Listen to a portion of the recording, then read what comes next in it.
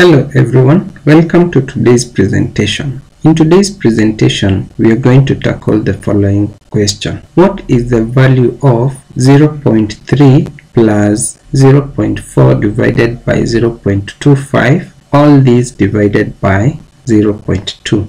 For this expression, we will need to convert all the decimal numbers into fraction to make our work easier. So we can rewrite the question as 3 over 10 plus, open the brackets, we have 4 over 10 divide by 25 over 100. Then all these divide by 2 over 10. So we'll start by simplifying the numerator we have 3 over 10 plus we have 4 over 10 multiplied by the reciprocal of 25 over 100 which in this case will be 100 over 25 all this divided by 2 over 10 we can simplify the expression under the bracket. So we have divide by 10 we get 1 divide by 10 we get 10 then divide by 5 we get 5 divided by 5 we get 2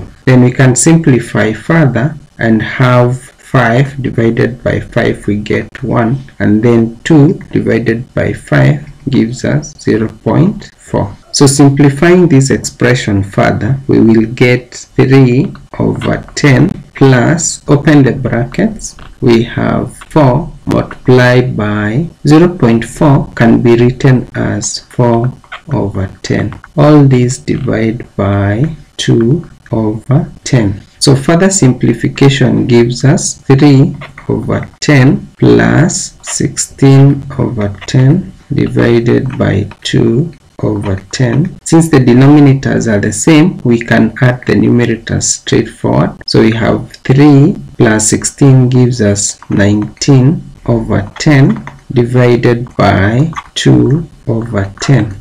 Next step would be to simplify the new expression. So we have 19 over 10. We multiply this by the reciprocal of 2 over 10 which becomes 10 over 2. We can cancel out the common numbers. So divide here by 2, we get 1. Divide here by 2, we get 9 because of 18.5 then cancel by 10 we get 1 cancel by 10 we get 1 so the answer to our expression becomes 9 0.5. This brings us to the end of our presentation today. Looking forward to seeing you in our next presentation. Thank you.